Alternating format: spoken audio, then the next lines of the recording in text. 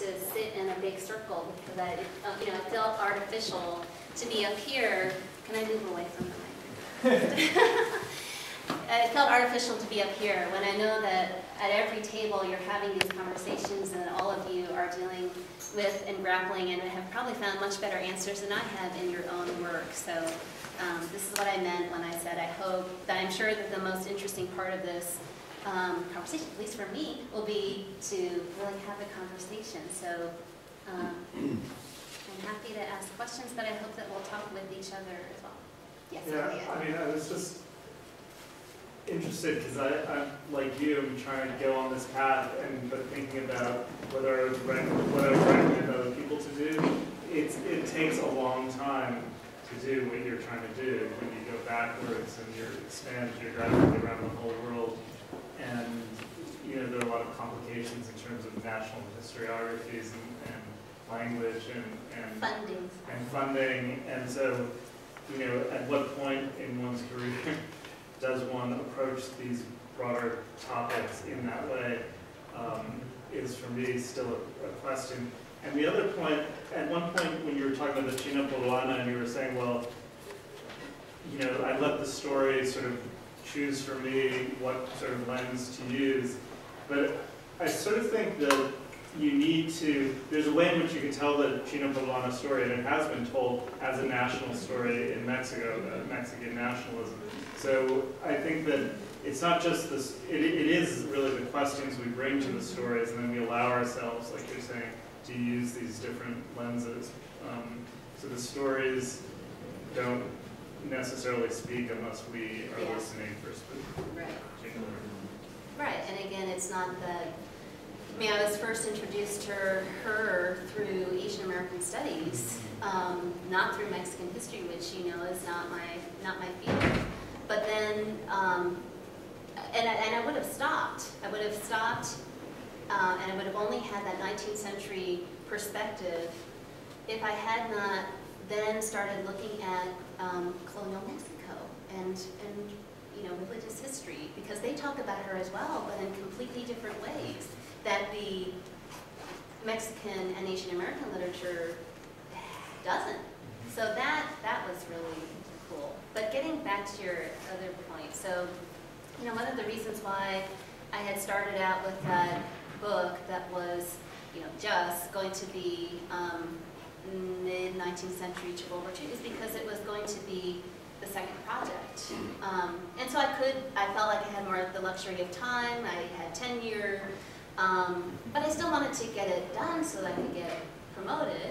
Um, and, um, and I just also, I was still feeling my way around and feeling, mm, you know, just growing into um, this new identity of not being just a U.S. historian, so I really didn't feel comfortable intellectually saying I'm a whatever. I still don't, but um, but then it's true. Timing is everything. I think what's challenging now is for graduate students.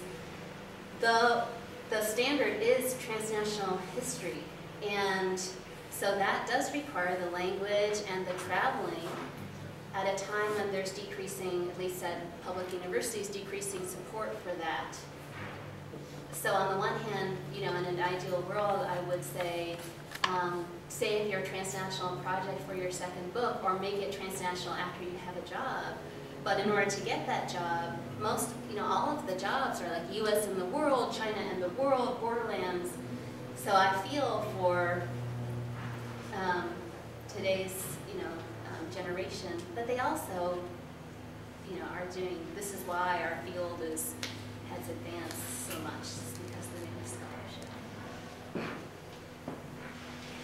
Um, I'm very interested in the last point that you're making about the use of history to construct ethnic identities. Uh, in fact, the paper I submitted for this workshop is very much about that. Um, and while in this workshop, we're, we're discussing basically uh, new ways of looking at uh, uh, uh, uh, the way scholars look at, at migration, but I'm also very interested in the way that immigrants uh, see themselves vis-a-vis different trends in, in historiography. so for instance, while in the sixties and seventies, uh, with the introduction of multiculturalism policies, they may been able to construct um, and use their own history, sometimes in a mythologized way, uh, but in a very creative way to sort of insert themselves in the narrative, national narratives of their uh, countries of adoption, uh, be it the United States or Canada. And just wondering uh, how currently uh, immigrant communities, um, if they have adapted that public, the- the use of public memory, uh, heritage celebrations, the construction of their own ethnic identities, uh, if they're adapted to the more sort of global identity, diasporic identity, first. So basically, how has our conversation as academics have influenced the That's another you know, the, the construction of current identities or, or vice versa. It seems like you're asking more than one question. I probably am. Maybe I'll answer the first, the first one that I think I heard, and then the second one about how, what impact does it work? I may leave to another time. Um, But I, I think I can, I think I can touch upon that too. Um, So the, the first one, I think, is about the relationship between um, history, memory, immigrant identity, but also, you know, not just within a national context, but diaspora. Is, am I framing it that way? So, um, I think one of the great examples that I can think of that speaks to that specifically is the Komagata Maru movement, um, to recognize the um, shipload of South Asians who came to challenge the continuous journey law in 1914. Uh, uh, it was a real um, uh, impasse in the Vancouver harbor, three months, they were turned away, many of them were then um, arrested by British colonial officials. There has not been, um, there's, there was a kind of half um, apology, but it wasn't in the House of Commons, it was outside, there were people that are very, they, you know, they wanted the, these things matter, right? Uh, where it was, who said it. Um, so there's been a, a local, um, well, it's based in Vancouver, so I'll start with that. Uh, Vancouver-based organization called the Komagata Maru Heritage or Memory um, Project, and it's about uh, it's about publicizing the history of the Komagata Maru in Vancouver and in British Columbia and in Canada um, more broadly. But then part of the project, actually, they collect donations to not only do these public history projects, but then also to send money back to the villages of the Komagata Maru passengers for schools and, you know, as sort of, remit- not remittances, but um, as, as philanthropy. So there's this, I think that that's a fascinating thing, that's not just about, which I see more in the US, you know, we suffered, uh, we want you to recognize this past discrimination, but in doing so, we also recognize how far we've come and that we are members um, of the, of the nation. That is, that's a different iteration than I have seen otherwise. So I, so I think that that's, that there are possibilities of that. I don't see it, I don't, I don't see it um, as much. The other thing is there's a immensely vibrant international network of research of Japanese descended peoples called the Nikkei Project. And um, folks have been gathering since the 1980s as in, in congresses and conferences of Pan-American uh, Nikkei, so Japanese descended people throughout the Americas, where it's about you know collaborative research, but also coalition building, and also the second, third, fourth generation, often mixed race, um, teaching them what Japanese culture, you know, what Japanese culture is. So that's a more diasporic, but within the Americas, not necessarily going back to the homeland. It's a, it, that's an interesting change too. Um, and then in terms of what impact does our scholarship have on identity making? I would think that it has an immense impact, but I'm not, I'm not sure. But, you know, I, I, um, I've talked about in June of 2012 how the 1882 project, which was the coalition of activists and other community members pushing the U.S. Congress for an, it's not an apology, it's a statement of regret, which I think is pretty ridiculous, but a statement of regret for exclusion laws. That could not have happened um, without at least two generations of scholarship that A, started with my um, co-author Judy Yung, who was, when she was interviewing descendants of, um, when she was interviewing detainees, former detainees of the Angel Island Immigration Station, no one wanted her to use their real names. So in her book, which um, is the, I think, best, you know, book on poetry on Angel Island, you'll see the poetry and then Mr. S. or Mr. Lee, or what, you know. So it was such a, a thing of stigma and shame that no one wanted to use their name. Now, when we go out and about, people are coming up to us, they're showing us their papers, you know, I mean, it's endless. Uh, we want to tell our story. So I, you know, I would say that that, the work that the generation on whose shoulders I stand, their work helped to change public attitudes, which then led to, no matter how watered down I think is, a statement of regret. So I do think that we can have an impact. It may take some time. Yeah. Um, I really appreciate your talk for a number of reasons. As a geographer, I, I like your emphasis on the, uh, on the scale, particularly the interrelations among the scale.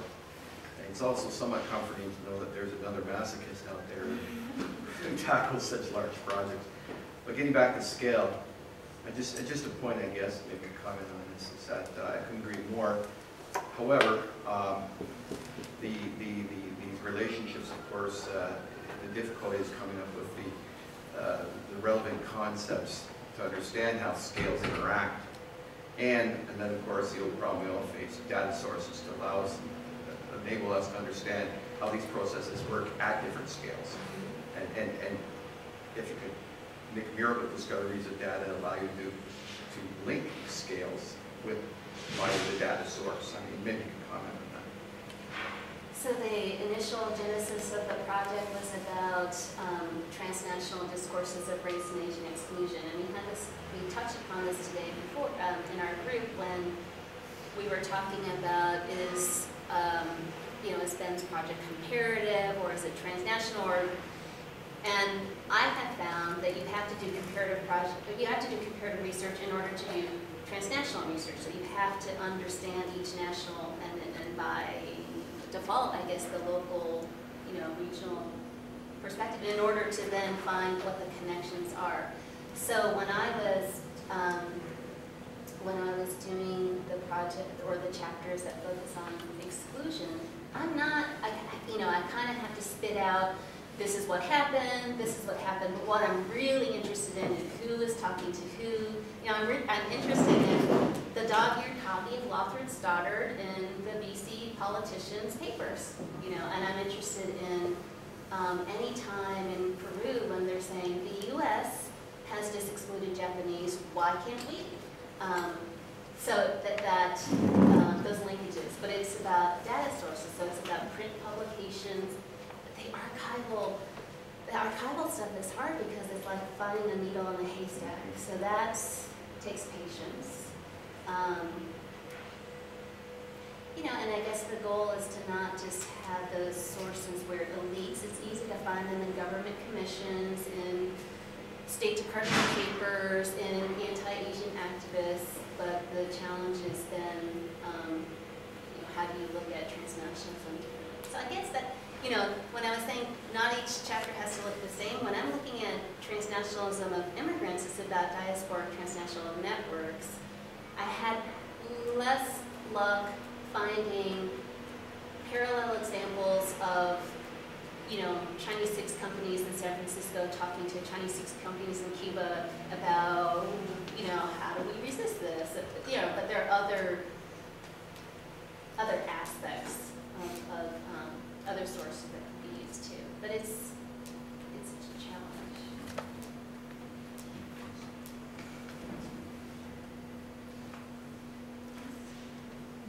You addressed in your answer first question, the, the challenges of the tenure clock, and the problems of um, access to limited grad student funding. And I'd like to put that together with the comment that you just repeated now uh, from your talk about not every chapter needing to look the same, which I think is fantastic. But how do you then deal with yet another challenge, which is getting this book to reviewers who um, may or may not be transnationalists, Yeah. and who then are looking for a consistent theme and who otherwise say, well, this is merely a collection of journal articles and would be better published as such. Right, you do need to connect them. Um, so this last part, whereas, um, whereas they tying it all together, it's, um, so I guess this is where the definitions really are important, but in defining the connections, whether it's a divergence or, um, or, you know, deeply, um, intricately connected. But for me, you know, I chose three, um, three main things that I think connect the larger project. And they're broad, you know, so they're broad like migration, um, or um, immigrant inclusion or exclusion, um, or, you know, transnationalism. But, but that they are, you know, each chapter has some element of that and builds on each other. I, um, so Seema Sohi is not able to come here to this conference, but her paper um, has a, a great um, um, element to it in that she talks about the ways in which this tension between transnational movements of people, transnational discourses of race that then lead to um, national policies of immigration restriction that both affirm the nation state, but then like I was talking about with this example of the South Asians, lead to more global processes. Um, so I don't know if that really answered your question, but, but finding, so I guess in, you know, in terms of not having it look like seven different articles, you really do need to connect it, even if it's at the end of one chapter, pointing out what's to come and how similar or different, or at the beginning of one chapter, or even little signposts to say, unlike the case in the Philippines, blah, blah, blah. But also in, in the introduction or in the larger analytical frame, um, thinking about what does connect, whether it's a, you know, from global to national to da da da, da, you know, or if it's this more complicated change and different um, framework. So I don't know if that helps, but I would recommend looking at Seema's paper in the introduction to see how she does it. Yeah, Connor. I guess this is more of a common question here. I think part of it is that we're talking about sort of scales of, different kinds of scales, global, national, local. But uh, I think in sort of trying to negotiate those things, you're inevitably also going to deal with subdisciplines and crossing kinds of historiographies, right? So I think inevitably, as you're sort of dealing with these different scales, like, you know, my work, um, you end up having to, tie, like, one of the things I tried to do was tie sort of American West, North American West history to the history of U.S. imperial and British imperial projections into. But, but this requires sort of bringing together historiographies that have been sort of traditionally uh, been separated, whether it's U.S. foreign relations and history of the American West, which David Atkinson is working on, for example. So inevitably, I think trying to deal with the issue of scale is also going to bring you to the questions of which histories are you, which, you know, of these previously sort of, you know, sort of demarcated subdisciplines are you going to sort of bring together as well, connect, and so forth. So it's not just a matter of scale, but it's really a matter of sort of which histories you're going to engage and bring together and tie together, and so forth, I think. Problem that I see though sometimes is that then once that manuscript goes to readers, they Yeah, go it to becomes- those siloed disciplines who Yeah. say, what is this other stuff doing in mm-hmm. a book in my field? But I do think people are open to it when you're explicitly saying, I'm bring, I'm trying to bring this subfield into collaborative, product, you know, productive collaboration to this other field, you know, and, and I think if you make those postmarkers clear to these people, even if there are in their silos, I think if they're, you know, they would be open to these kinds of collaborative sort of overlaps and think, you know, unless they're really like, you know, feudal about, you know, marking off their territory, you know, but otherwise, I think they would be open to that. But I think you, you, but I think you need to signal to the, the readers, even if they are stuck in these silos, that look, this is, these are the fields I'm bringing together, and I think they can understand and see that. But I think it's our job as the, uh, as the producer to, to, to show them very clearly where these connections are going, where the overlap and the intersection is taking place, and why it's important and productive. And you want those other audiences too, because if you're crossing so many different time zones, places, and subfields, you want to make sure that you're doing it uh, correctly, or that you haven't missed anything. Um, So, yeah. But I just, uh, there's a practical dimension to this, at least in Canada, uh, at least until recently, uh, the funding opportunities to do this kind of research, you have to emphasize multi-trans, cross, interdisciplinarity anyway. So you have to play that game. So it makes sense to do that uh, if you want to get funding. So if grad students are thinking about this kind of research, they have to think beyond the box. They have no choice, basically. I do think one of these big projects is something I would never, I mean, and it's taken this long for me to feel comfortable going so far outside my area of comfort too. So it's not, don't, you need to, don't need to go, you don't need to go back. But eventually, you know, maybe you'll, um, maybe you'll also find these new horizons. And who knows, it could be a real, could be a real flop and then, then you won't, uh, want to follow my footsteps, yeah. Um, I guess my, my question becomes as, as a graduate student, kind of, um, and, and to everyone here, really, as, um, thinking about these subfields and, and, and the need, and I think also the desire to do transnational work, or work that pushes beyond the nation as a container of meaning, um, and the difficulty we face coming through academic programs that are so essentially structured around, um, nations as the, the units for teaching, um, and ways in if we, you know, if the trend of transnational scholarship and the trend funding for scholarship and all this is pushing us in that direction, um, at some point it seems like we need to try to address the, the academic structure of our departments. Um, Because I'm, for instance, quote unquote an Americanist, and it's certainly I'm not an Americanist. Uh, You know, I'm a transnational scholar. I, my my subjects are in Europe or in America or in South America, and uh, you know, it's I've been lucky to have have faculty that supports that kind of work, but um, it's really frustrating feeling yourself having these. You know, in a way, institutional motivations to get out of the box, and these institutional limitations keeping us inside the box, um, and how we as a community of scholars can go forward and try to address that. And you know, one of the things I see on the job market, actually, I was saying, mentioning it earlier as a positive, but actually I think it's just more, um, it's much more, it's just another way of labor exploita- exploitation in that now you're not expected to only teach U.S. history, but U.S. and world history. Um, so in framing it as U.S. and the world intellectually, it's very exciting, but actually I think it's just a way to get more out of one person for the same amount of money. At the same time, and I just as a final point to what you're saying, perhaps for Americans here that may not be aware of this, our current government is actually going the other way in terms of focusing more on the national uh, history of Canada. Uh, In fact, just this week, um, there's been announced plans to change uh, what was the Canadian Museum of Civilization, or Canadian Museum of Civilization, and which had exhibits that did not relate directly with, with Canada, uh, from you know, issues uh, having to do with every part of the world, and now focusing a lot more just simply uh, on Canada.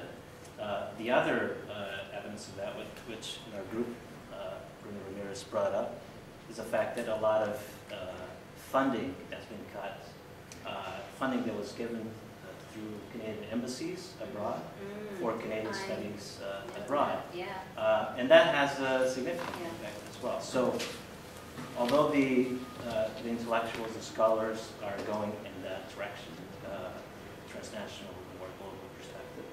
Uh, Unfortunately, our current government is going the other way. It's a very much sort of like conservative. They're caught up in the War of eighteen twelve, right? Yes.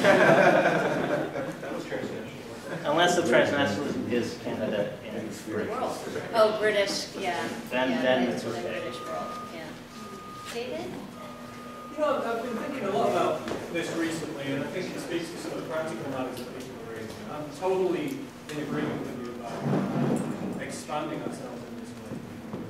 But I wonder whether, in some ways, our conceptual innovations are outpacing our capacity to actually do the work, And I can think of a number of projects I would love to do by myself, but I'm in no way uh, capable of doing it.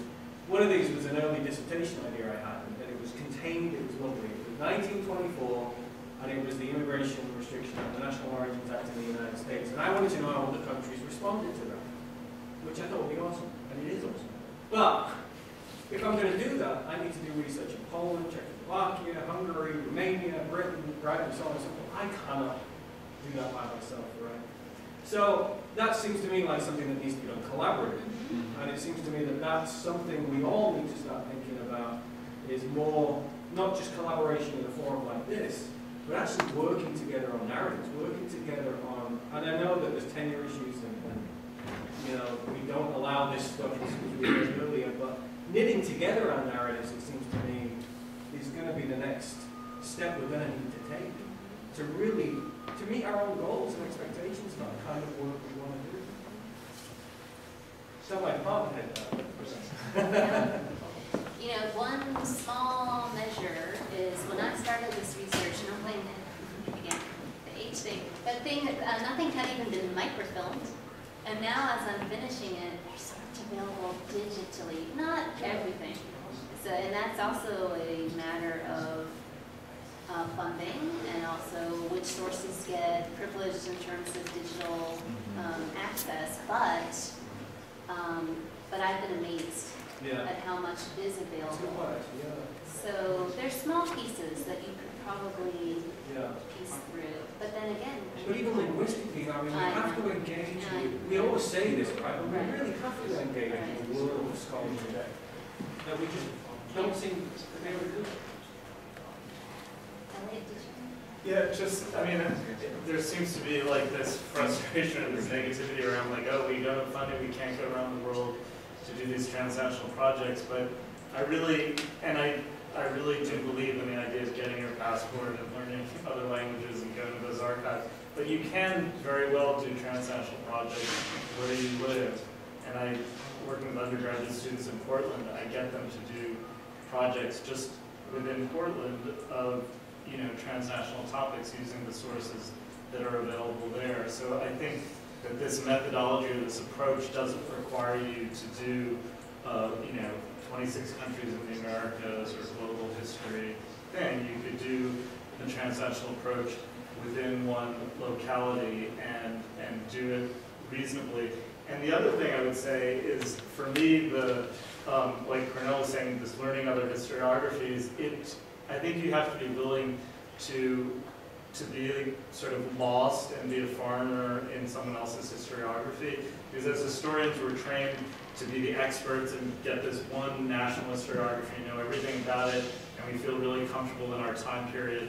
And that's homey, but if you want to do this work, it means sort of being an idiot like you are when you're a foreigner traveling to another country and you don't know the language, and just being sort of comfortable being naive and, and trying to learn. And so I think that's a hard lesson for, it was a hard lesson for me to learn, but you learn a lot And, and going off that metaphor, at least when I travel abroad, one of the key things to survival is making local connections. Um, that might work the same way that, you know, when, when you're dealing, and this, I think, addresses the kind of cult of individualism that's like embedded in the Western Academy, right? Um, actually makes me think of that recent Obama quote, right? You build your business, or like, you know, no one, none of us are actually doing this intellectual work alone, right? We're all building off of previous scholars and our advisors and our, peers and a huge amount of collaborative work, but making that collaborations more explicit. Um, so for like within, luckily within the kind of community that I'm functioning with mostly, which is with Scholars of Anarchism, there's a huge emphasis on that anyways.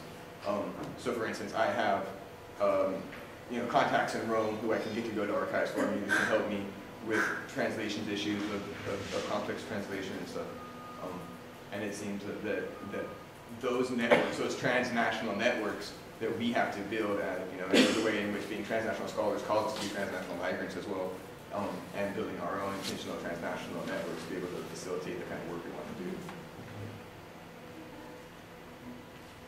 Maybe just, if anyone has one last question, and then we'll take a quick break for the roundtable.